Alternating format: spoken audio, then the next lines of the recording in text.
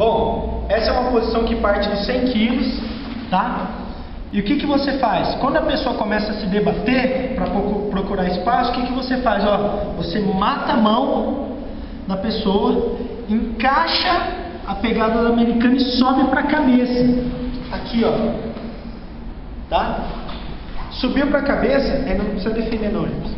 Subiu para a cabeça, o que, que você faz? Ó, puxa o braço para você e joga para lateral.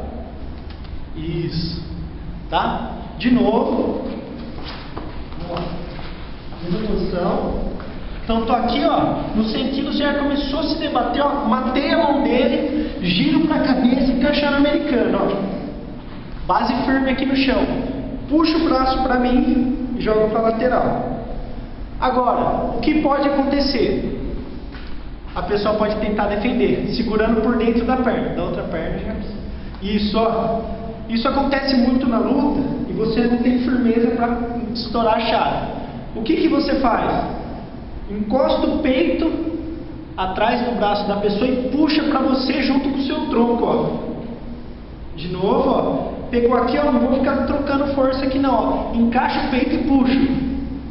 Joga para lateral. Se a pegada da pessoa for muito, muito forte, o que, que você pode fazer? Em vez de você puxar para tentar finalizar, você vai puxar na direção em que a parte de trás da mão dele está apontando. No caso, para cá. Ó. Puxa, volta, finaliza. De novo. Puxa, volta, finaliza. Tá? Bom, vou fazer um em tempo real. Ah, aqui, ó.